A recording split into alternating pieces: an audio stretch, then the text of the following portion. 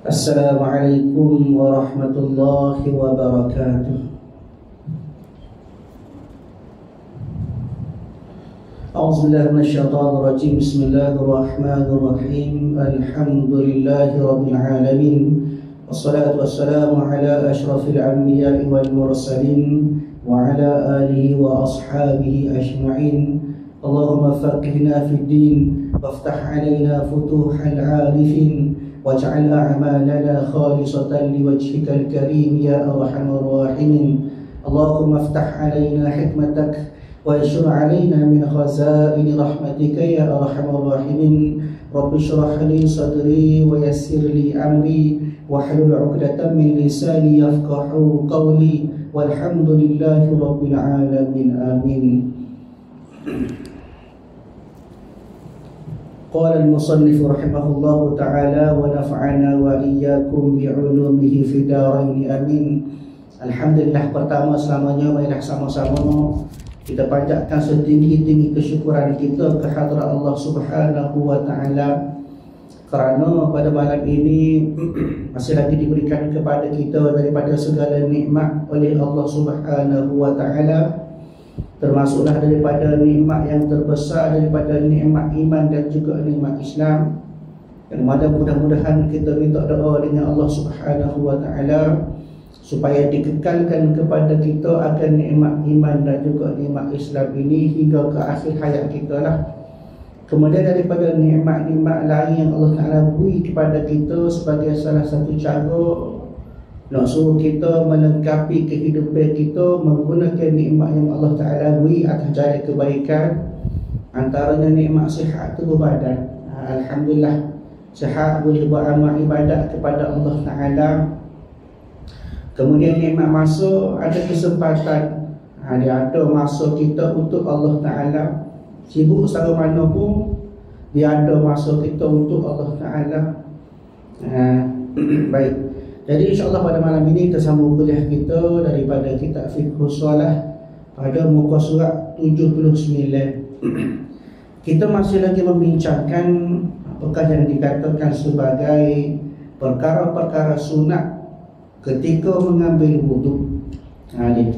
Mana kata bila mana kita dah tengah ambil air semaya tu Kita buat perkara-perkara sunat ini Maka boleh pahala kepada kita Bukan setakat boleh pahala atas sebab kita mengerjakan wajib-wajib atas wuduk Rukun-rukun wuduk boleh pahala dah ha. Sebab kita menyempurnakan wuduk dengan buat hak wajib tu Rukun wuduk tu Bahkan dalam masa sama bila kita buat sunat ni boleh pula pahala sunat Ha ni, baik. Insya-Allah pada malam ini muka surat 79 nombor 18. Mana kata nombor 18 itu 18 daripada sunat-sunat wuduk. Ha kali ikut sunat wuduk banyaklah. Banyaklah. Semua ulama sebut ada berpuluh-puluh. Tapi kitab ni dia hanya sebut sekadar untuk memberi kefahaman kepada kita benda-benda yang kita buat. Yang ke-18 menyelati anak-anak jari tangan. Ha dia mana kata menyelati eh kita gonyok di celah-celah tu antara jari-jari tangan kita tu. Ha dia celah-celah kuku, celah-celah tangan. Apa ada benda-benda yang boleh manik, boleh mencegah air daripada sapa. Ha, kadang-kadang setengah tu kalau kita tak tak buka jari kita tak sapa air ada juga. Mana kena buka ha, dia buka jari tu ha, sambil kita menjelati anak-anak dari kita konyol maka menjelati itu hukumnya wajib sekiranya diyakini air tidak dapat rata kecuali dengan menyelati. Mana kata kalulah benda tu ataupun air tu tak sampai sekiranya tak selok jari tak buka tak genggir akan jari maka hukum jadi wajib. Maknanya wajib menyelati Wajib kita buka, wajib kita selok jari tu. Uh, Kalau kita yakin dah air tu rata Dah walaupun tak buka sekalipun Maka hukum ni jadi sunat. Uh, ya. Maknanya bergantung kepada kita lah Kalau jenis kita ni biasa main benda-benda Yang boleh lekat celah-celah jari Norih kau ni Norih kau, mengecak kau Kadang-kadang celah tu tak nampak, tak berasa Kalau kita basuh, sekadar basuh Maka nak jadi kau kena hukum ni jadi wajib kita buka kaha juga banyak. Ha ni, maknanya wajib sekiranya kita yakin air teratur. Kalau kita yakin dah hmm, tak untuk buka pun sekadar cucu pun sampai ada air. Maka hukum dia sunat juga. Ha ni, baik. Itu yang ke-18. Yang ke-19 menggerak-gerakkan cincin yang dipakai. Ha ni biasanya orang lelaki lah, dia juga orang perempuan, ada juga.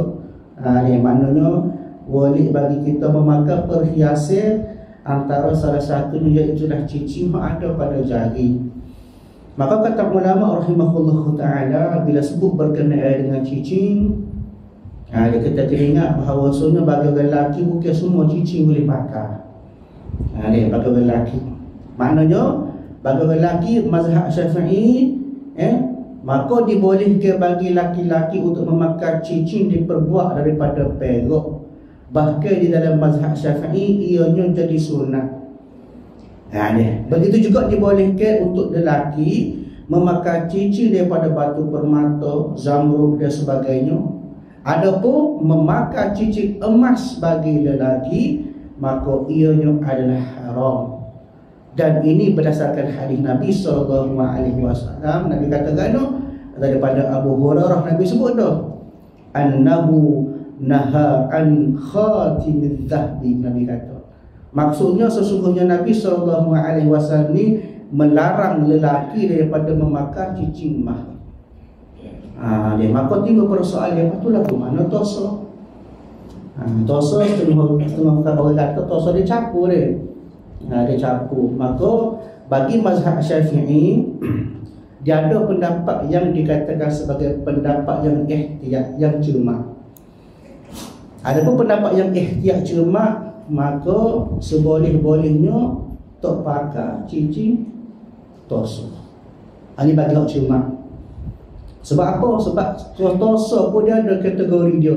Kalulah kata ulama sebut Kalulah lebih mah Daripada capur eh, Maka hukum dia Lebih kepada perempuan Jadi keharam hukum.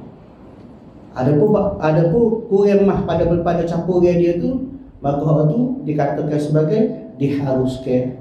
Mana kata harus tu bukan kata sunat tapi boleh. Maknanya sekiranya kuantiti ataupun qadamah tu kurang daripada hak campur. Ha, jadi hak ihtiyat cermaknya tak sepakat ha, itu pendapat hak ulama syafi'i hak ihtiyat hak cermak. Ada perkara pakai juga pastikan bahawa semua campur itu eh, lebih benda lain daripada rumah. Ha, dia tapi sebab ini perok lah. Perok tentu dah uh, Sunat. Baik. Ini adalah daripada Daripada Nabi sebut pada kita lah. Bahkan Telah berkata lah Imam An-Nawawi Rahimahullah Ta'ala Imam Nawawi pula katakan Bahawa Sebenarnya telah ijmuk Sekalian Muslim Akan harusnya perempuan Untuk pakai cincin emas Ini bagi perempuan Ijmuk ulama sepakat Kata tak apa Boleh Diharuskan perempuan pakai cincin emas dan telah berijmuk juga akan pengharaman lelaki bagi memakai cincin emas. Ha, ini pendapat yang qat'in ataupun rajih, hak muhtamad. Mana kata lelaki memang tak boleh pakai emas dan perempuan dibolehkan pakai emas. Bahkan berkenaan dengan cincin juga kita kena faham yang dikatakan sebagai larangan-larangan daripada Nabi wasallam tentang adab pakai cincin. Ha, kita pakai cincin sikit mana ini. Pakai cincin kata Nabi sallallahu alaihi wasallam, nahani Rasulullah sallallahu alaihi wasallam an atakhattama fi fi isba'i hadhihi aw hadhihi. Qala fa'au fa'auma ila al-wasati wallati taliha. Satu ketika Nabi sallallahu alaihi wasallam dia jumpa dengan Sayyidina Ali. Nabi Rasulullah ni jumpa dengan Sayyidina Ali.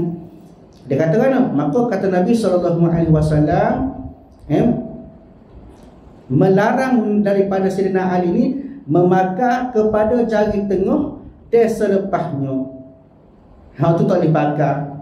Jari tengah ha, maknanya apa ni jari tengah? Tengah lah. Jari apa ni? Jari hatu. Ha ni Nabi lari pakai. Ha dia, Nabi Nabi lari pakai dan selepasnya iaitu apa? Jari telunjuk. Ha ni Nabi lari. Ha, dia jari tengah mana jari jari hatu dengan jari telunjuk. Ha itu hal yang hak hak ijmu daripada daripada Nabi lah. Nabi sebut jelas tu daripada hadis dia tu. Ha, dia, dia sunnah pakai jari kelingking ha, bagi lelaki dan bagi wanita pula boleh dikenakan kepada mana-mana saja jari. Tadi tu cerita hal lelaki tak boleh pakai jari hatu dengan jari telunjuk. Lelaki tak boleh pakai. Perempuan tak ada masalah. Ha, boleh mana-mana. Ha, cuma kena faham bahawa sebenarnya Nabi sebut hadis tadi membawa kepada hukum makruh tanzih. Ha, dia maknanya makruh tanzih yang dibolehkan untuk mengenakan cincin pada tangan kanan ataupun kiri tak ada masalah. Ha, dia. Ha, itu terdapat pada hadis yang sahih. Walau bagaimanapun pada mazhab Hambali makruh pakai cincin jari tengah. Ha, makruh maknanya boleh. Sebab apa? Sebab tadi Nabi sebut sebagai makruh tanzih. Ha, Nabi lagi eh maksudnya makruh tanzih. Ha, dia makruh yang dilarang. Ha dia, tapi tak pada hukum haram. Ha, ada mak, dia makruh, tak haram lagi. Makruh ni asal makruh ai karaha. Nabi tak suka. Itu makruh. Sebab kita kata makan benda-benda bau. Ha dia, makan bau bau bau betul.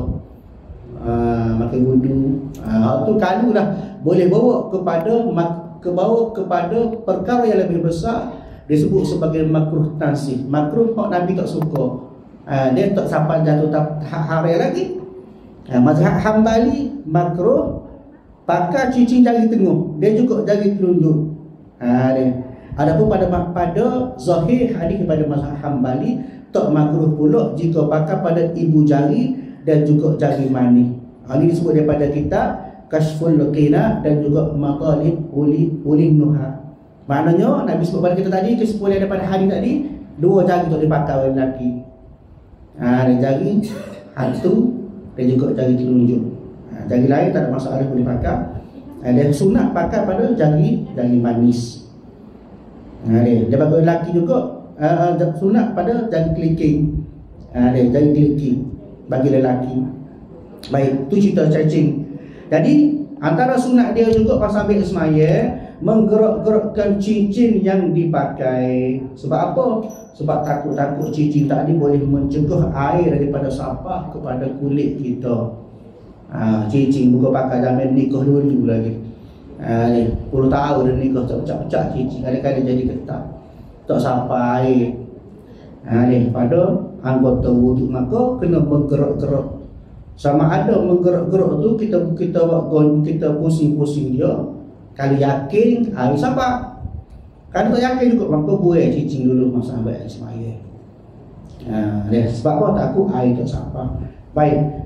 Kiranya air tidak dapat masuk dengan sendiri kerana terlampau ketat. Ha, dia cici tadi pakai ketat sampai keting dia. Ha, tak sampai masa air lah. Terlampau ketat, maka wajib digerak-gerakkan cicing itu. Jadi hukum dia wajib.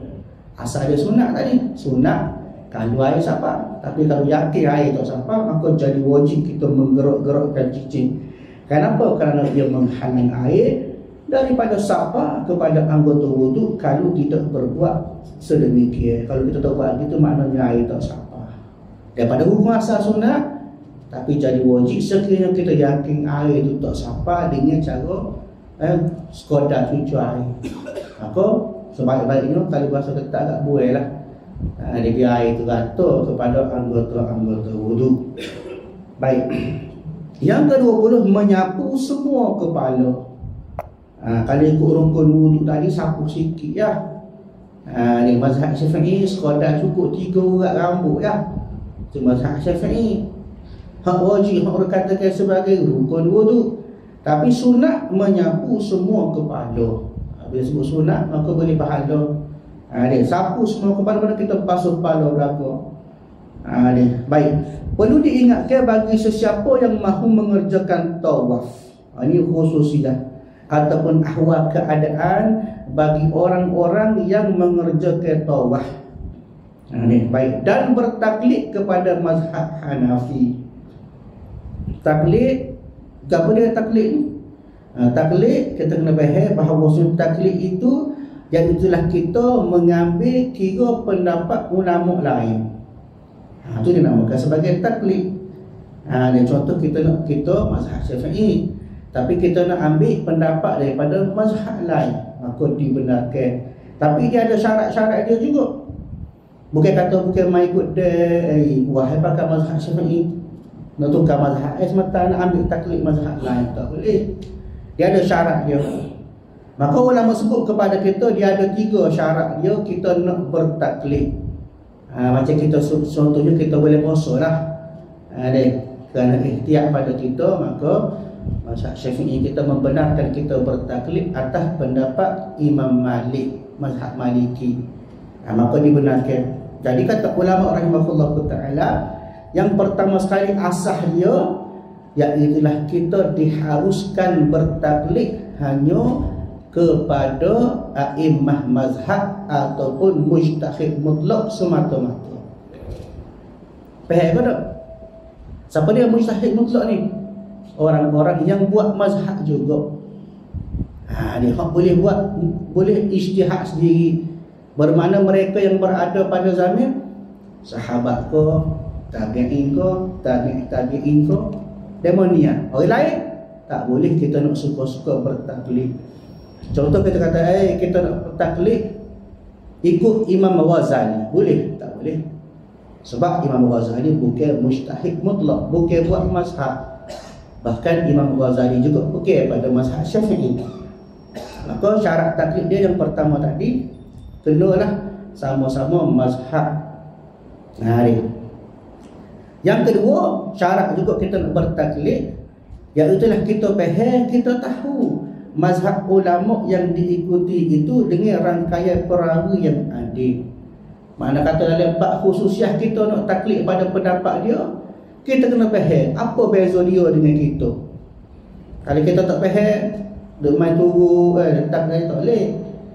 Contoh kita kata Bak ambil air semaya kita syafi'i Tiba-tiba kita nak tukar air Nak tukar eh, Nak taklid Mazhab lain Mazhab hamba kepada Bak ambil air semaya Tapi dalam masa sama kita tak faham Pula ke mana keadaan dia Mazhab hal lain tu ambil air semaya Maka tak boleh. Syarat kita kena faham Mazhab kita sendiri tu tentu dah kita faham. Ha dia. Oh kita nak taklid tu pun kita kena faham juga. Ha dia. Yang kedua. Yang ketiga kita kena menguasai perincian masalah dan perkara berkaitan dalam mazhab tersebut. Mana kalau Pak ambil semaya kita kena jelas. Kena detail. Ha dia. Kadang-kadang di, di Syafi'i sunat di dia jadi rukun ataupun wajib. Juga sebab kita kata nak semaya lah, nak semaya, nak ambil mazhab lain. Itu mazhab Syafi'i. Ha dia.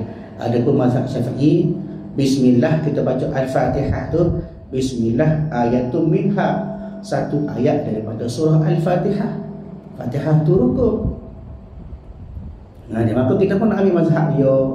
Mazhab dia Bismillah tak termasuk pada surah Al-Fatihah Tapi kita tak faham pun? Kita baca juga Fatihah atas sebab Kita baca Bismillah tadi Kita baca Fatihah Atas sebab kita jahil.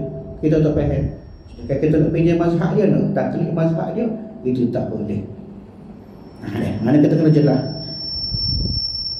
Yang ketiga Dia syarat kita nak uh, bertaklid juga kata ulama tidak berlaku talfik. Apa dia talfik ini? Talfik ni jadi capu. Ha, dia capu. Lagu mana contohnya? Kita mazhab Syafi'i. Jadi kita mazhab Syafi'i. Tiba-tiba Okey, kita mazhab Syafi'i, kita pun nak pergi mazhab ataupun kita nak taklid pada mazhab Hambali. Kita ambil semaya rukun kita wuduk basuh rambut tiga orang ya. Ha ni. Maka dalam bab mazhab Hambali kena basuh satu rubuk, satu perempat daripada kepala. Ha ni. Tapi dalam masa sama kalau bab tepuh retino Ni, sebelum nak semai tiba-tiba kita betul orang retina kita. Kita berkata, eh tak apa, kita uh, uh, taklid mazhab Hambali tak batal kalau tepuh tanpa ada syahwat. Ha, sedangkan masa ambil wuduk tadi kita basuh tiga orang rambut ya. Maka tu dinamakan sebagai taf talfik jadi capu. Ha, talfik ni dia capu semata mazhab Syafi'i. Dalam satu ibadat tapi capu. Dalam bab ambil semaya, dalam bab semaya tapi capu semata syafi'i, semata hambali, semata maliki itu tak boleh. Ha ni baik. Jadi sebab kita sebut ni perlu diingatkan kepada siapa yang mahu mengerjakan tawaf dan bertaklid kepada mazhab Hanafi dalam perkara tidak batal wuduk dengan bersentuh kulit lelaki dan perempuan yang halal bernikah. Ha ni kalau kita tadi kita kita niat dah masa nak ambil semaya kita taklid pada mazhab Hanafi. Maka dalam bab Hanafi tak batal wuduk Kalulah kita bersentuh lelaki dengan perempuan Maka kita katakan Maka wajiblah baginya menyapu sekurang-kurang se seperempat kepala Satu rumput lah Atau sekadar setapak tangan Kerana hal itu adalah fardu dalam mazhab Hanafi. Mana kalau daripada awal kita niat dengan tentu Dah dalam bab ambil esmaya pada tentu Bab terpohenti pun telah tentu lah. Biar serupa jelas lagu ha, maknanya semua melibatkan ibadat tersebut start daripada ambil air semaya kita semaya yang melibatkan ambil ambil apa melibatkan wudu hak menggunakan mazhab lain tadi kena sudah dengan mazhab tu juga. Ha, jangan kena capu-capu. Ada baik. Ha, dia tulis itu nombor satu footnote nota kaki bawah sekali tu. Perlu diingatkan bagi sesiapa yang mahu bertaklid kepada mazhab Hanafi dalam perkara tak batal wuduk dengan persentuhan kulit lelaki dan yang halal bernikah supaya mengetahui syarat-syarat taklid. Ha, supaya tadilah syarat dia kena faham. Ha, dia. Yang diperlakukan yang diperagukan oleh mazhab kita Asy-Syafi'i dan mazhab Hanafi. Kena faham dua-dua belah. Lek kita pun kita kena faham mazhab kita nak taklid tu pun kena faham juga. Mengenai syarat-syaratnya boleh didapati dalam kitab fiqh yang besar atau kitab usul fiqh dan begitu juga bagi siapa yang mahu bertaklid pada mazhab Maliki. Ada. Baik, sambung atas tu. Tetapi seelok-eloknya hendaklah disapu semua kepala supaya wuduk yang dilakukan itu merangkumi tuntutan fardu dalam mazhab Maliki dan Hambali. Ha, konsep dia supaya ya. Mana kata kalau pergi start daripada ambil wuduk, habislah wuduk tu, habislah pada bab semaya guna wuduk yang sama itu dengan mazhab Hambali ataupun maliki. Sebab apa? Sebab kita bertaklid tadi. Ha adapun kalau kita duduk di mazhab syafi'i kita tak taklid pun. Ha ni. Maka basuh kepala tadi kita basuh sebutir kepala tadi keseluruhan rambut tadi maka jadi sunat. Ha, kalau kita dalam keadaan kita bertaklid maka hukum dia berubah jadi wajib. Ha ni. Maknanya nombor 20 ni yang berkata kepada kita ha, kalau kita tak bertaklid pada mazhab lain sunat basuh ke semua kepala kita ha, adapun kalau bertaklid pada mazhab lain maka hukum dia wajib kita basuh atau sapu satu per empat daripada kepala kita lah pada mazhab Hanafi daripada mazhab Hambali basuh belakang kepala tu yang ke-21 makna kata sunat wuduk juga membaca doa ini semasa menyapu kepala. Apa dia doa dia? Allahumma ghashini bi rahmatika وأنزل علي من بركاتك وأظلني تحت ظل عرشك يوم لا ظل إلا ظلك اللهم حرم اللهم حرم شعري وبشري على النار Ini satu doa kita baca masa kita dah sapu kepala tu kita basuh kepala tu apa kita baca doa ni apa dia artinya ya Allah liputilah akadaku dengan rahmatmu anda kata bila-bila kita basuh kepala semua Udah tengah buat sunat wudu Kita minta doa biar Allah Ta'ala Bui rahmat dia kepada kita. Nah, Kita kena faham bahawa sebenarnya rahmat Allah Ta'ala itu luah Bagaimana Allah Ta'ala sebut surah Al-A'raf Wa rahmati wasi'at kulla syait Allah Ta'ala sebut Rahmatku ni meliputi tiap-tiap sesuatu. Nah, kena faham rahmat ni adalah satu cara kita dah masuk syurga dengan rahmat Allah Ta'ala lah. Masuk syurga bukan dengan amal. Amal itu tanggungjawab kita Sebagai satu asbab ya. Amal-amal ni.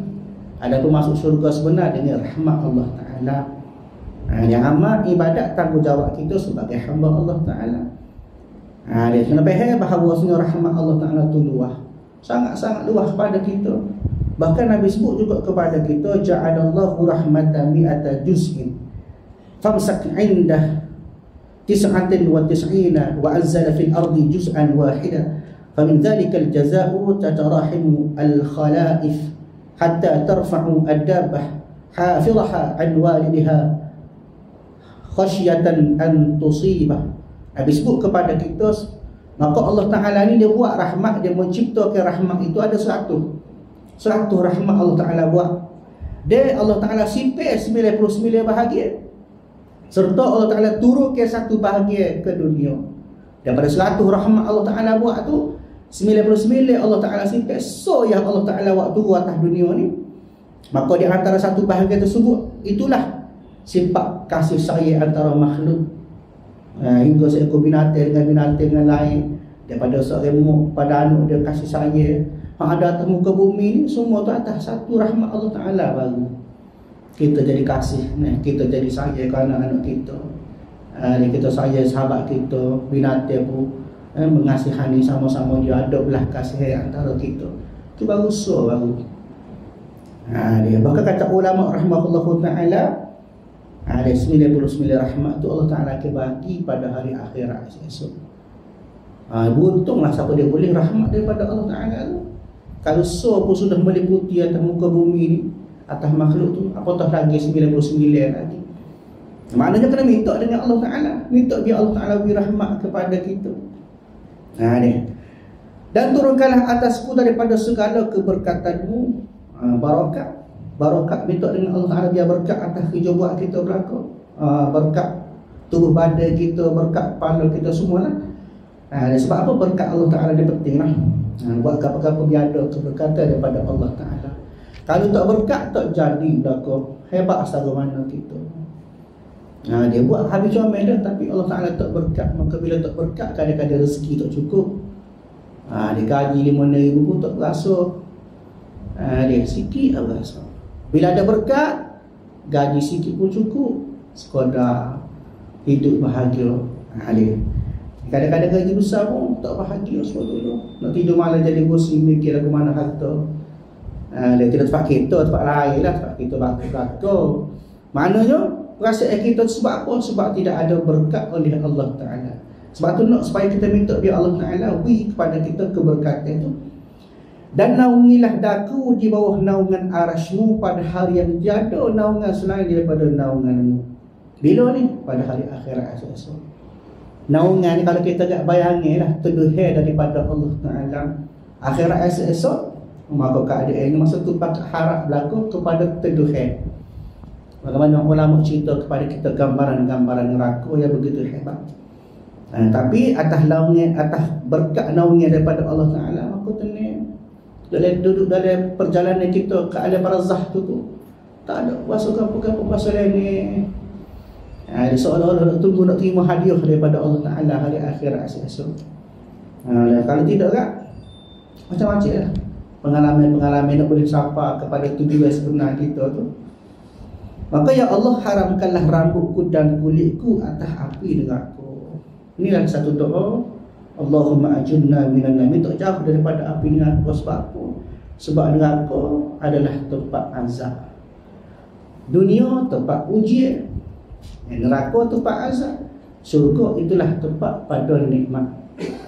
Nah. Sebab apa dikatakan sebagai azab? Kerana kerana neraka adalah tempat pembalasan. Ha, dia tempat dia balah. Ha, kalau kita sebut kita balah dengan orang kita boleh balah. Oh sedap dia. Bui juga, bui juga, timbuk juga. Apatah lagi kita dengan Allah Ta'ala. Banyak dosa kita dengan Allah Ta'ala. Bagaimana Allah Ta'ala sebut Fattakun nara allati waquduhan nas wal hijarah Wa'iddat lil kafirin kata Allah Maka peliharalah diri kamu daripada api neraka Yang mana bahaya-bahaya bakar dia apa dia Manusia dia batu-batu berhala Ha, dia manusia dia batu-batu berhasad lain. Iaitu neraka itu ke apa dia? Disediakan kepada orang-orang kafir. Ha, maksud kafir lah kepada? Kufrun ilallah. Kufur pada Allah Ta'ala. Bukan kafir sekadar kafir Yahudi, kafir Nasrani itu. Dah tu jelas tu kafir. Ada pun kita orang Islam orang kufur kepada Allah Ta'ala. Juga akan berada di kalangan orang-orang yang berada dalam api Maka kata ulama rahimahullah taala antara disebut oleh Syekh Dahab Al-Ahbar juga disebut oleh Imam Al-Qurtubi dan juga Imam Al-Ghazali dia kata ah, dia kata neraka ni ada tujuh. Ha, dia neraka ni ada tujuh tingkat, tujuh tujuh lapis neraka. Ha, hak atas sekali ke apa neraka. Ada yang kata neraka jahannam bawah dia, dia ada atas sebenarnya. Ha, dia paling atas neraka, neraka nama dia neraka jahanam. Ha, dia ha, bermula tingkat paling atas hingga tingkat bawah sekali pun ada juga dia kategori neraka jahanam ni. Maka hak mana dari tu khalidina fiha abada. Hak duduk dalam neraka jahanam ni kata ulama kekal ia selama-lama. Hak orang tak tubik memang khusus duduk dalam jail dia penjara mana? Neraka jahanam. Memang tak tubik duduk dalam ni ni. Yang kedua kata ulama neraka luzza. Luzza ni oh, kedua siapa dia penghuni dia ni? Orang-orang yang mendustakan agama Allah. Eh, bila mana orang kecil hak agama dia larang. Uh, dia menafikan ibadat sikit-sikit eh, tak wajib.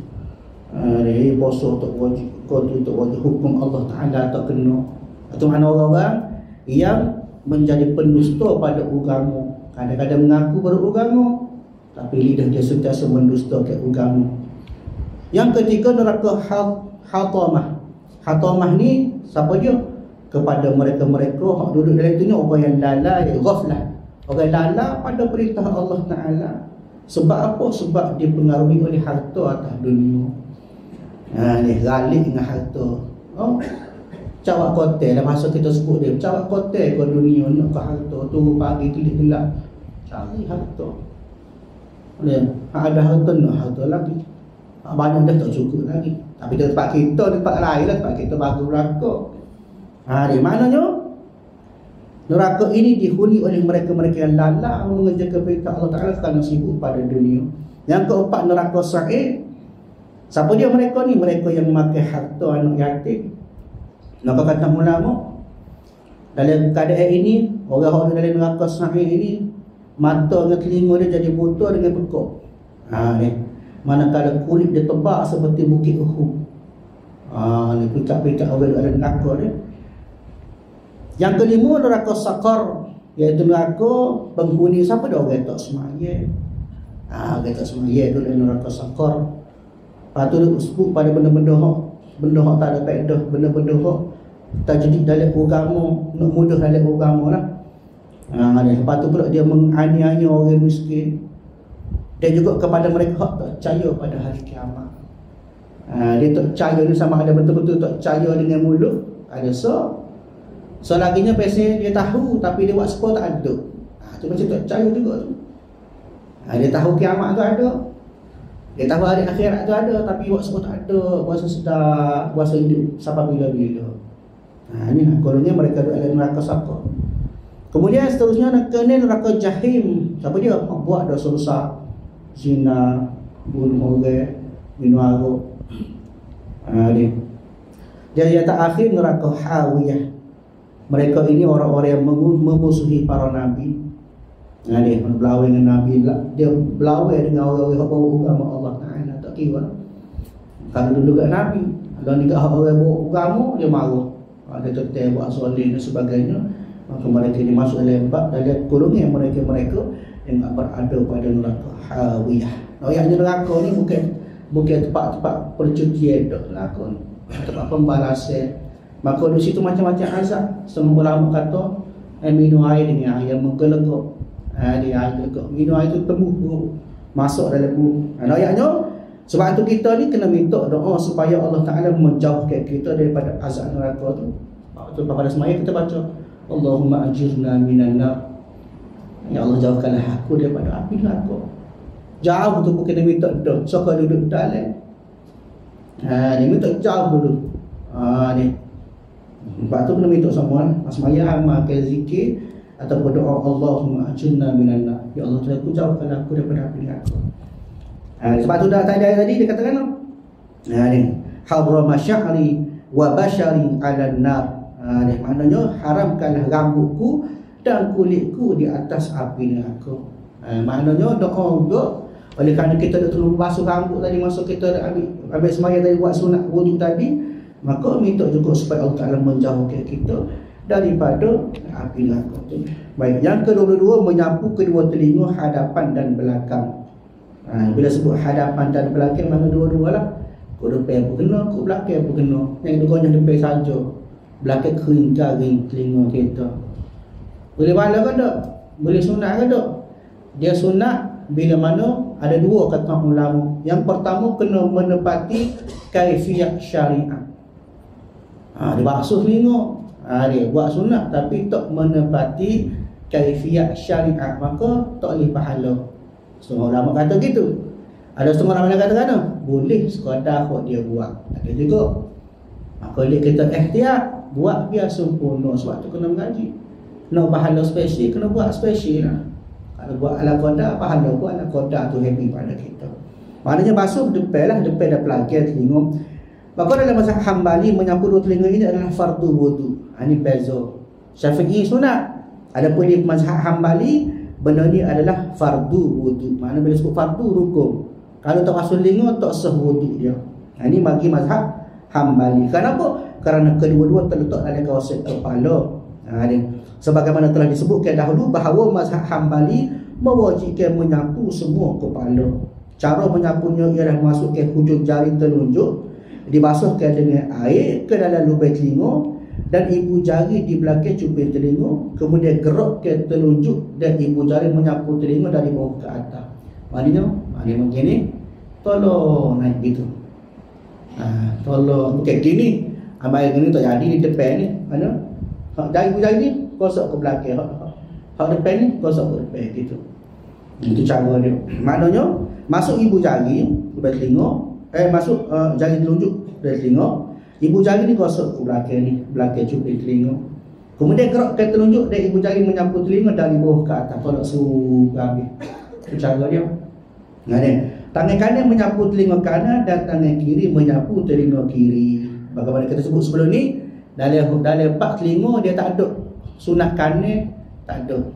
Ha, kalau anggota lain dia ada sunat basuh tangan apa sunat kanan dulu baru kiri. Ha, anggota-anggota wuduk lain ada pun telinga dia duduk dia serentuk. Ha, dua-dua teguk sekali. Ha, sekali buat. Ha, dia.